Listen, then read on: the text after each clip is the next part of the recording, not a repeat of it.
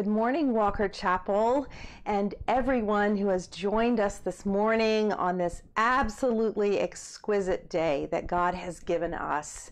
We can feel the crispness of the air that reminds us that, yes, indeed, it is September. And we're thankful that we have this opportunity to gather in this unique and wonderful way.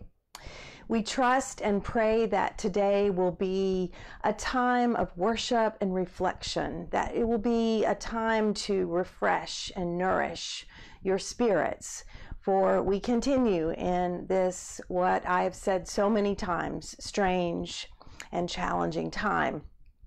We have some notes this morning, and so I hope you'll take note as we are continuing to pray for those um, with whom we've received names across um, the land, if you if you will, as well as those right here at home in Arlington, Virginia, who are um, continuing to receive treatment, whose bodies we are praying will be healed. We pray for their doctors and all their caretakers. So I know you'll join me in continuing to lift up the names of those who um, are healing there are also a number of unspoken prayer requests this morning. We're thankful that the God that we love and serve hears our prayers, even when we ourselves um, are unable to share them. And so I invite you this morning to be in prayer for those unspoken prayer requests. There's um, a number of things going on at the chapel. First of all, I want to give a shout out to Walter Leathers for the prelude this morning. Um, it was beautiful. He um, was on the harpsichord, and we're thankful for those who are willing to share their, their talents with us. So thank you, Walter, for that beautiful gift of music. Today um, at the chapel uh, is a new day uh, after after so many weeks of not gathering at 12:30 today our students are going to gather for a socially distanced picnic bringing their own snacks um, to the meadow we got a special request because our group is rather small uh, we got a special request from our district superintendent so that we can have this small gathering with um, bringing your own snacks. Our food drive, speaking of snacks and food, it continues from one to three today. So um, I hope to see you. We have lots of folks who come every week from our community, and we're very thankful for the continued support in our surrounding community um, because there's still folks who are really, really uh, experiencing food scarcity, and we need to do all we can to help. So, from 5 to 6 today, we're going to gather back. Bring your chairs or a blanket to sit on, um, your face mask, and um, we previously said bring some snacks, but what we've realized is oops, not quite yet. We're not allowed to have food together with a larger crowd because that requires us to take off our, our face masks. So bring your chairs, bring your face mask, bring your eyes that are smiling. If you're like me, you've learned to at least attempt to smile with your eyes while you're wearing a face mask. So we're looking forward to this hour together as um, we reconnect um, and have a chance to be in conversation with each other. There are um, several other prayer requests I want to um, note. You, I'm sure, noticed this past week that as we remembered September 11th, September 11th will forever be etched in our minds as a day that our country changed forever, and we continue to pray for all those, all of us affected by September 11th, 19 years ago, for all the family and friend who still grieve and mourn the loss of those who died. But September 11th, this past week, also marked the six months since the World Health Organization declared the coronavirus a global pandemic. So, one of our prayers today is that we continue to pray for perseverance during this hard time, that we continue to pray for all the healthcare workers, that we pray for those in labs across the land who are working tirelessly to um, discover and work toward a vaccine for the coronavirus. For all those um, out in the West who um, are experiencing the worsening of these wildfires that have destroyed destroyed um, nearly 7,000 miles with 100 plus major fires, all of those who are experiencing anxiety, who have lost lost more than they ever imagined, for those whose lives have been lost. We pray for their families. For so much that is on our mind, we we pray for strength and for courage as we continue um, conversations around um, racism, systemic racism, where you and I need to continue to pray mightily to God to help us to see what we need to see, ways that we can um, be more loving and compassionate and just. We'll be talking more this morning about our upcoming presidential election, one of the most consequential in many of our lifetimes. And so I would ask you to also put that at the top of your prayer list for every day as we move forward in the next 50 days toward that time in our lives. I believe these are the notes that I have for us this morning. So I would invite you um, as we worship together to allow that this time be a prayerful time, to be mindful of all the things that are before us, and to prepare your hearts and your minds and your spirit for this morning's call to worship. Good morning. My name's Herb Grant and I live in Arlington, Virginia. We're gathered for worship today in places far away and nearby. God brings us together and we're glad you are here. As Walker Chapel United Methodist Church, we celebrate being with you today. Please join me in this call to worship. If you are weary and in search of rest, if you are hurting, in need of justice, if you are mourning and long for comfort, if you are perplexed and seeking truth, if you are struggling and you desire a win, if you're broken and need a Savior, God welcomes you here in the name of Christ. To the lonely in need of fellowship, to those who hunger and thirst for righteousness, to any and all who come.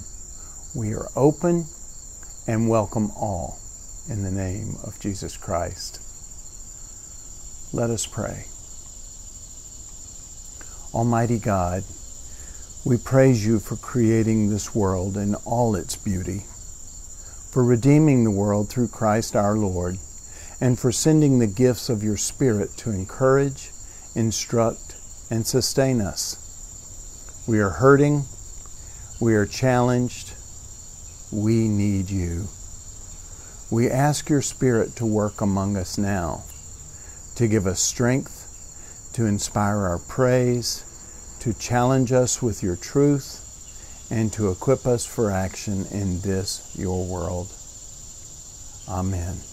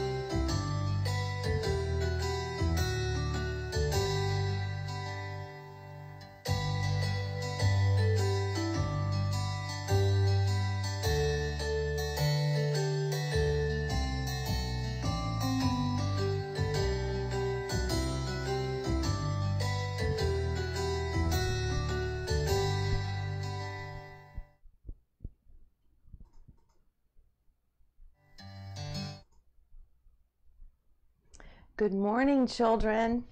I've been thinking a lot about you this weekend, and I know some of you have had an especially busy weekend. And so it's always a special time for us to get to have this conversation together. Yes, we long for the time when we can be right next to each other, but for now, what I want to say is that we have an extra special time together. So I want to also remember to say that I know that Catherine and Ellie and Jacob are actually riding in the car this morning, coming home from Ohio. The Timmons Olson family had yet another death in their family, and so they were in Ohio um, over the weekend, um, giving thanks for and celebrating the life of their Uncle Jack. Uncle Jack was the first generation of five generations of Warners. And so yesterday was the time to celebrate Uncle Jack. And so the children wanted us to especially pray for Uncle Jack's family and also for Mrs. Wright, who um, is in need of our prayers. So this morning, um, we are together and we're going to have a special blessing. And so this is this is important for all of us. All of us gathered this morning from 0 um, to 102 because we're going to have a blessing of the technology. Now, this is a first for me, but this is also um, a first for all of us in this strange time. But I've um, offered many, many blessings over the years, and a blessing is a special giving of thanks to God for something that is important to us. I've even gone and done blessings for people who are moving into houses for the first time as they make a new home. We have blessings of brand new babies, we've blessed gardens, all kinds of things that are appropriate for us to give thanks to God for. So this morning, what we're going to do is we're going to give thanks to God for our technology because think about it. Think about it, children who are riding in your car this morning. If we didn't have our technology, we wouldn't be able to be connected in this wonderful way. And so this morning, we want to give thanks to God for our phones. We want to say, Thank you, God, for the gift of our phones that allow us to be connected in a really important way, especially in this time when we're not connected in person. So we say, Thank you, God, for the gift of our phones that help us to be connected. We also want to give thanks to God this morning for those thousands and thousands of children who are using Chromebooks for their virtual learning.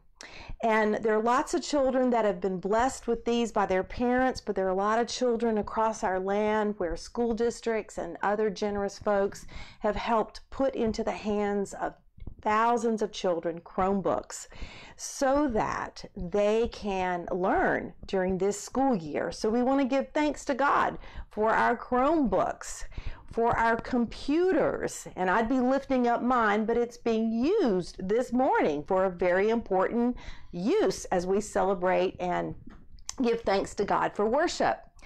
Perhaps you use a Kindle or perhaps you have an iPad that enables you to be connected.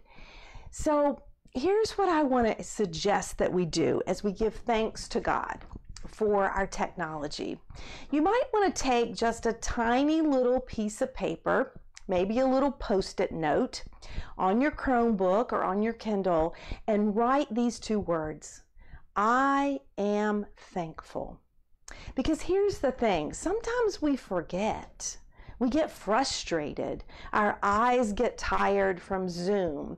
And we need a reminder that all of these gifts help us to stay close to one another during this unusual time. So I make that challenge to you. If you're 0 to 92, find a way to put on your devices a reminder to say, because I'm thankful for this blessing in my life, I'm going to remind myself I am thankful. So this morning we give thanks for the gift of our technology. And we pray, oh God, that um, we, through remembering our phones, will stay charged, that our computer screens will be bright, that our Zoom connections will be strong, and that our internet will stay on that our hot spots will be in the places where we need to be connected. And so we thank God for the gift, the gifts of our technology. Let all God's people together say, Amen. Amen. Amen. Now, children, this morning we have yet another Thanksgiving and a lesson and reminder. And I've found something that I know each of you have at home, even if you are just learning to work puzzles. Um, I know that um, our granddaughter Jubilee hasn't quite started working puzzles yet, but she will. And this particular puzzle is 1,000 pieces. It's a puzzle of Cape Cod, which is a beautiful area up in the Northeast. It was a gift to me by our daughter Annie during this pandemic. But this puzzle is 1,000. But what I want you to imagine is a puzzle that was over 7 billion pieces. Can you even get your mind around 7 billion pieces? Because we have over 7 billion people in our entire world. And so the lesson for this morning on the puzzle pieces is that if you think about uh, the puzzles that you have in your own home that you've worked before, you know that they're different, that every piece is different that some of the pieces are what we might call an edge piece where it's straight across, it's on the edge. There's some pieces that fit all the way into the middle of the puzzle. And then there's some other pieces that fit in all kinds of different places around the puzzle. But here's the thing every single piece is important to the entire puzzle.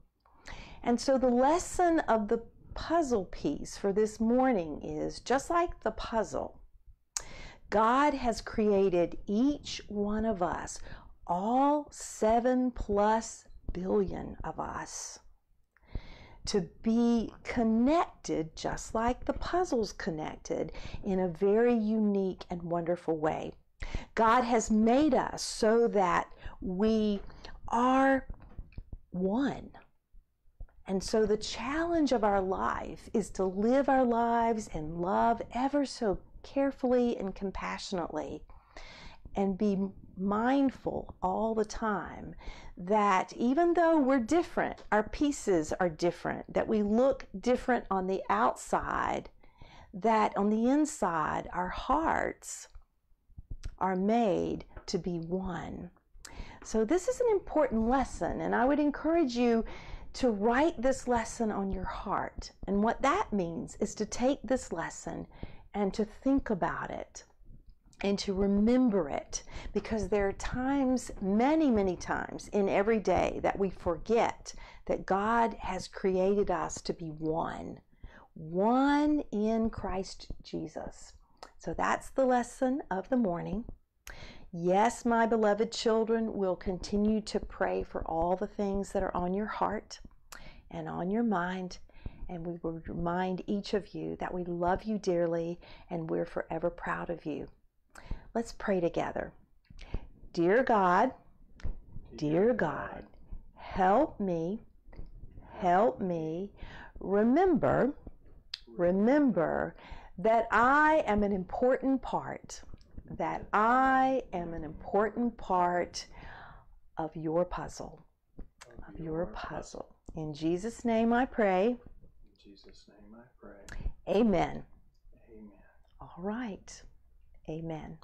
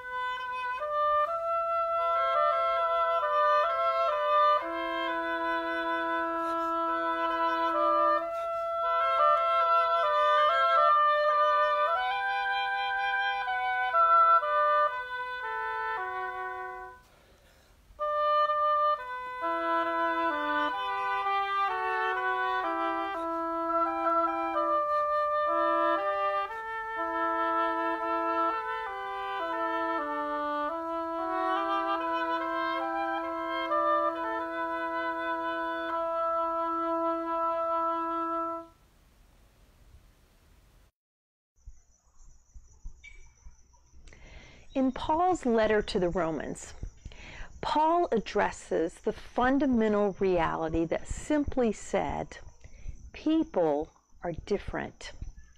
And because we're different, we're going to see things differently. And we're naturally, yes, naturally going to disagree. Our differing perspectives, the way we see things, can be so divisive that we decide oftentimes that we can't, simply cannot be in relationship with each other. In today's text, written centuries ago, Paul is addressing doctrinal issues, in this case, issues around food, that were so serious they led to disputes between James and Peter issues that were so full of conflict that many of the people in Rome saw the confusion over them as a basis for denying fellowship with each other. In other words, the disagreements, the conflict so polarized the believers that they convinced themselves they could not, would not stand each other. Hear these words from Paul's letter to the Romans from the 14th chapter. Welcome with open arms, fellow believers who don't see things the way you do. And don't jump all over them every time they do or say something you don't agree with. Even when it comes, even when it seems that they are strong in opinions but weak in the faith department. Remember, they have their own story to deal with. Treat them gently. For instance, a person who has been around for a while might well be convinced that he or she can eat anything on the table, while another with a different background might assume all Christians should be vegetarians and eat accordingly. But since both are guests at Christ's table, wouldn't it be terribly rude if they fell to criticizing what the other ate or didn't eat? God, after all, invited them both to the table. Do you or I have any business crossing people off the guest list or interfering with God's welcome? If there are corrections to be made or manners to be learned, God can handle that without our help. Or, say, one person thinks that some days should be set aside as holy, and another thinks that each day is pretty much like any other. There are good reasons either way. So each person is free to follow the convictions of conscience. What's important in all this is that if we keep a holy day, we are to keep it for God's sake. If you eat meat, eat it to the glory of God and thank God for prime rib. If you're a vegetarian, eat vegetables to the glory of God and thank God for broccoli. None of us are permitted to insist on our own way in these matters. It's God we are answerable to, all the way from life to death and everything in between, not each other. That's why Jesus lived and died and then lived again, so that he could be our master across the entire range of life and death and free us from the petty tyrannies of each other. So, where does that leave us when we criticize a brother? And where does that leave us when we condescend to a sister?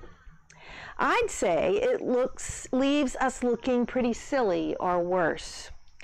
Eventually, we're all going to end up kneeling side by side in the place of judgment, facing God.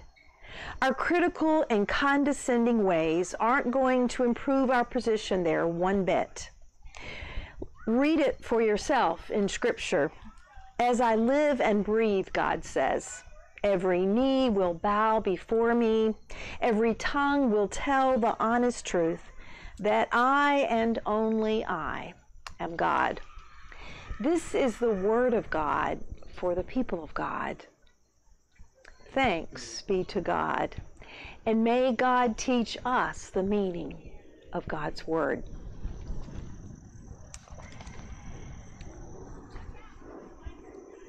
Whatever your side or my side, if we see in our lives a controversy that is dividing us from others as a basis to exclude from fellowship or community, then this particular text, these words of Paul's, are speaking to us. If we are struggling from being in the same space with somebody else because we see ourselves as simply being too different, then these words are for us.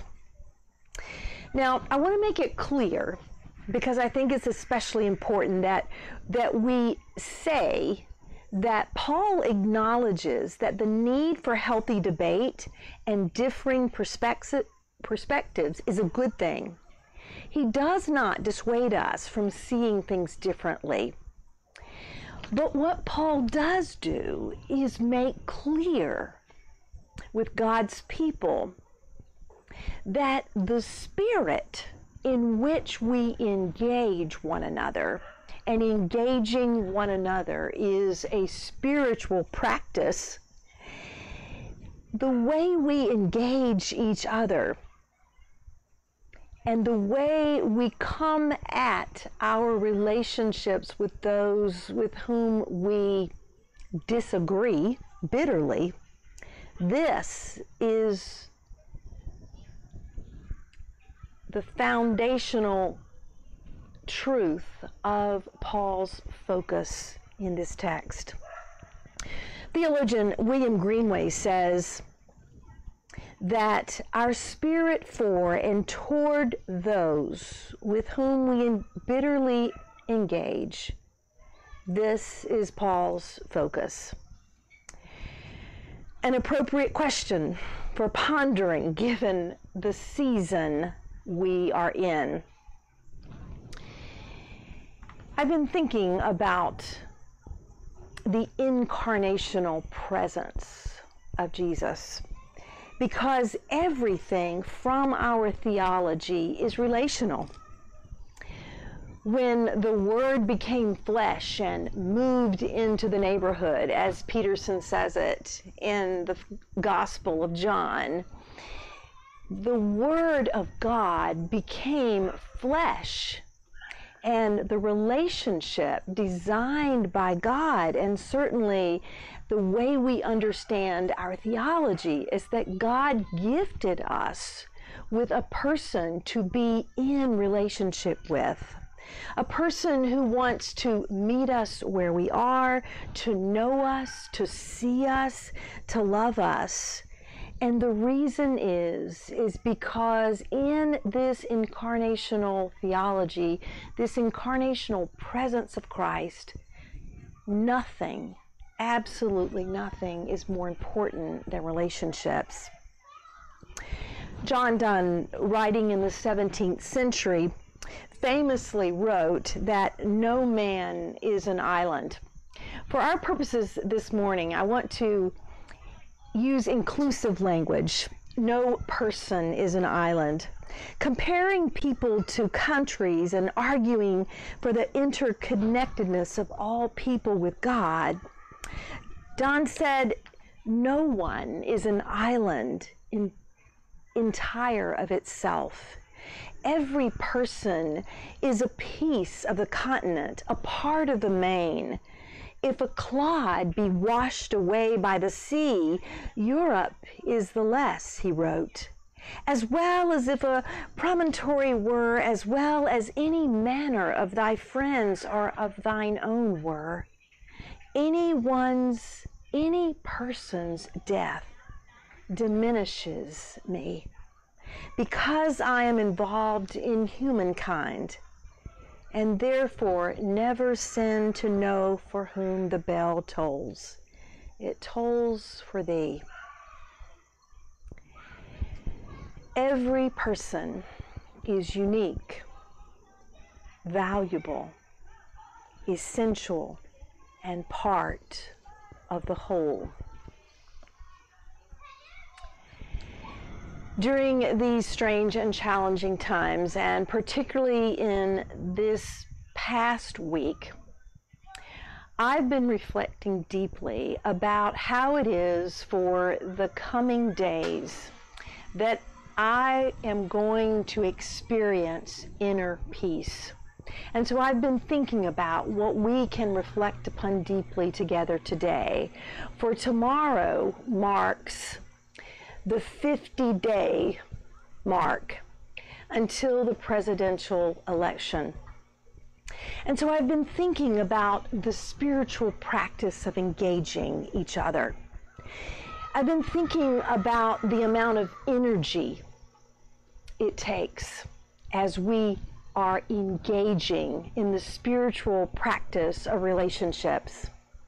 I've been thinking about the importance of where our spirits are as we move into this next season, if you will, these next 50 days.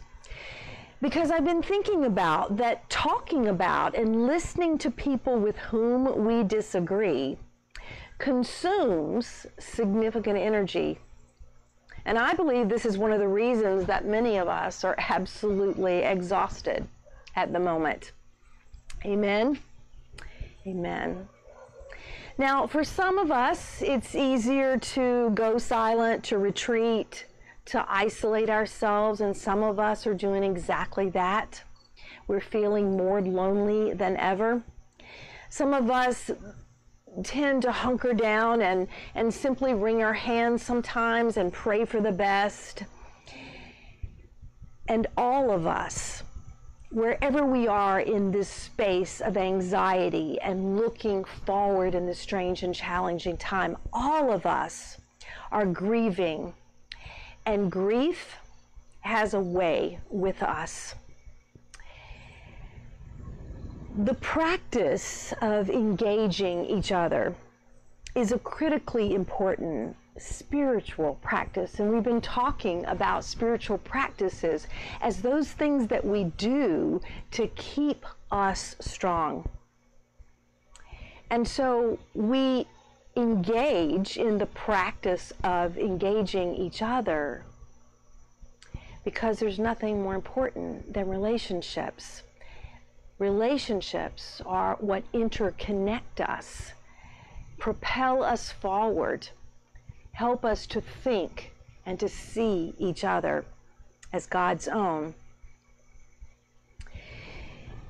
So, how is it that our spiritual practice of engaging each other might be strengthened in these days ahead? Brene Brown says, resist the temptation to dehumanize each other. I was rereading this past week in Brown's book, Braving the Wilderness. She writes that dehumanizing often starts with creating an enemy e- image, and that the enemy image often starts with language. And then in our minds, we follow it with the images we conjure up. And those images grow. And as a result of that, we become in our minds more disagreeable, if you will, with each other. It's not that we cannot bitterly disagree but it is the spirit in which we disagree. Hear these words from Brown's book Braving the Wilderness, the quest for true belonging and the courage to stand alone. Dehumanizing and holding people accountable are mutually exclusive. Humiliation and dehumanizing are not accountability or social justice tools. They're emotional offloading at best, emotional self indulgence at worst. And if our faith asks us to find the face of God in everyone we meet, that should include the politicians, media, and strangers on Twitter with whom we most violently disagree. When we desecrate their divinity, we desecrate our own, and we betray our faith. challenge our, challenging ourselves to see the divinity in one another require, requires a deep call to self awareness and a disciplined sense of caution for ourselves of what we are thinking and what we are saying to ourselves and what we are saying to each other. In every message, there is good news. As we prepare for these next 50 days, as we prepare to enter into the election for the United States of America, the country that has gifted us with so much, the country that we love and we are thankful for.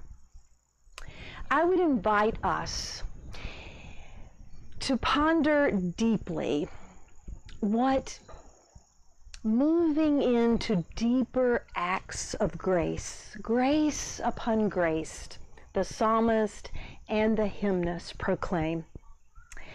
I've been thinking a lot about living beyond judgment. Because you and I, good news, you and I, because we have made the choice to follow Jesus, we are in the loving business, not the judging business. John 3:16 reminds us that God is our judge, that we, our role as God's people are to be compassionate and to be caring and to think carefully and reflectively and critically about what we say and how we say it. You and I are called to see the face of Christ, as Mother Teresa would say, in every human being. I've been thinking about the importance of resisting the tendency to jump to conclusions. You know what they say about making assumptions. I've been thinking about the question what if?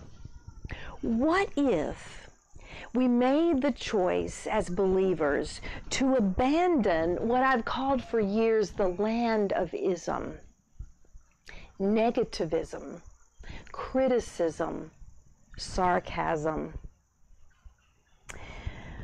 I heard an author this past week say, Consider this. We're not here to be right. We're here to get it right. You've heard me say before, what would it look like to live our lives as if no one can offend us? These are hard and messy times, challenging for many of us in more ways than we ever imagined, could have planned for, or even are prepared for. We're grieving. We're feeling a collective vulnerability. We're needing a normal. We're, in military terms, what they say is that with all that's before us, the pain of a pandemic and the journey toward a better nation and a better understanding of what it means to be a people who love each other. We're at that point of no return. We're in the messy middle. And the messy middle invites us and challenges us to live, each and every one of us, by a higher standard. And so I've been asking myself, how can I rehumanize some of those men and women whom I have decided that I simply can't stand? What would God invite me to begin to think about? How would God invite me to think more critically and more lovingly about all of us together as children of God. I've been texting more than ever during this pandemic because for those of you especially that are sick, I can't I can't visit you. I can't talk on the phone to some of you. And so I've taken to texting on a regular basis, sending light and love. As we move forward in the days ahead, I hope that you will join me in the invitation to collectively, as God's people, to intentionally think about in every moment of our days, sending collectively light and love. Because God is love. And light is stronger than any darkness. So, from our house to your house today, our hope and prayer is that together that we will stand strong, that we will focus more on the ways that we are alike than different, that we will continue to work our hearts out for social justice, to hold our leaders and all of us who are responsible participants in our land to hold us, make us accountable for justice and for love and for light. We make this prayer in the name of God. Amen, amen, and amen.